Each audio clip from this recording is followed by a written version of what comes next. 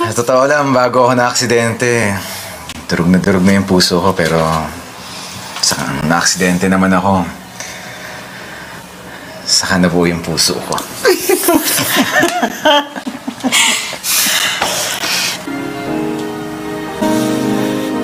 Salamat kami.